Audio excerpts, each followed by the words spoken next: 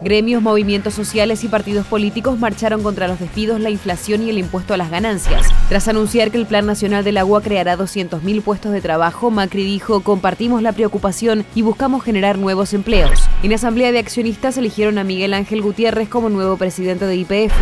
El Dakar 2017 recalará en siete ciudades argentinas, entre las que se encuentran Resistencia, Río Cuarto y Buenos Aires, donde tendrá lugar la ceremonia final. Francisco pidió un cambio de paradigma económico y rechazó la exclusión.